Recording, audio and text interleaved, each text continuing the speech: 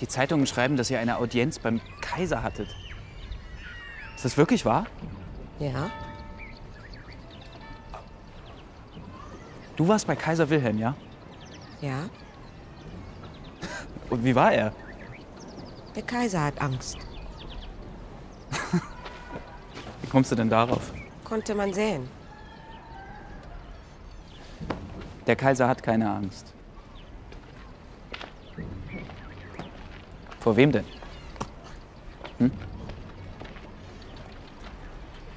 Vor nichts und niemandem. Freddy sagt zum Kaiser, die Herero und Nama erwarten eine Versicherung, dass seine Majestät den Frieden mit uns halten will. Eine Antwort hat der Kaiser uns aber nicht gegeben. So sprecht ihr mit dem Kaiser? Friedrichs Vater ist ein König.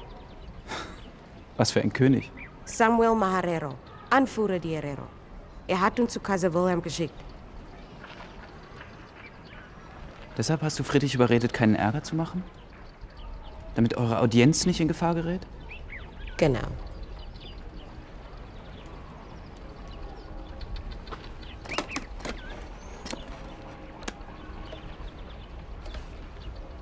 Droht denn ein Krieg bei euch? Ihr nehmt unser Land weg.